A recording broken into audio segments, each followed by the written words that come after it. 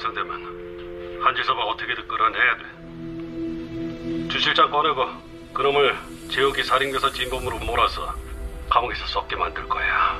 증거가 없으면 조작이로 돼야지. 안 그러면 우리가 다쳐. 어떻게든 해림이 마음 돌려서 한지섭한테 정을 떼게 해야 돼. 자칫하면 해림이 때문에 일을 그르칠 수도 있어. 한지섭 너무 쉽게 보지 마. 제욱의 의식 잡고 당신의 한지섭 없애려던 계획까지 눈치챈 놈이야. 의사는 당신들 같은 편이면서 왜 스쿠터 사고로 설아 씨 뱃속에 있던 아이 유산시킨 것도 한지섭이 시킨 거고 인욱이 리베이트 사건도 한지섭이 꾸민 거야. 아, 지금도 인욱이 몰아내고 강인 그룹 통째로 삼키려고 하고 있어. 한지서 어떻게 된 거야? 대체 누구 말이 맞는